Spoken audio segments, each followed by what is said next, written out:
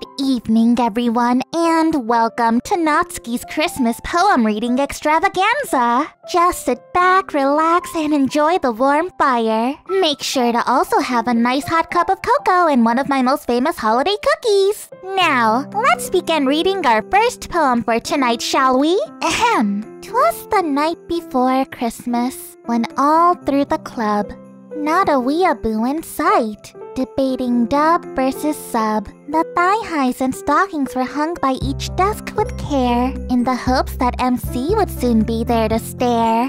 Monika was nestled, all snug in her bed, while dreams of MC's pen danced in Yuri's head.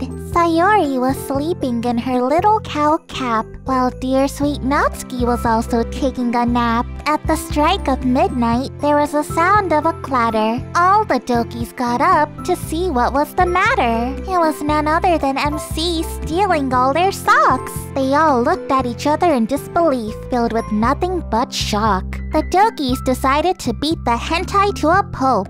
MC knew his end was near and eventually let out a gulp. I just wanted my own harem of waifus. He said, You shut your bitch ass mouth, Natsuki threat. Wiping aside the blood from his nose, he gave a quick nod in utter defeat and rose. The Dokis heard MC say with a voice so clear, To all a Merry Christmas and a Happy New Year. Well, that was cringe. I'm never doing this again. I don't get paid enough for this.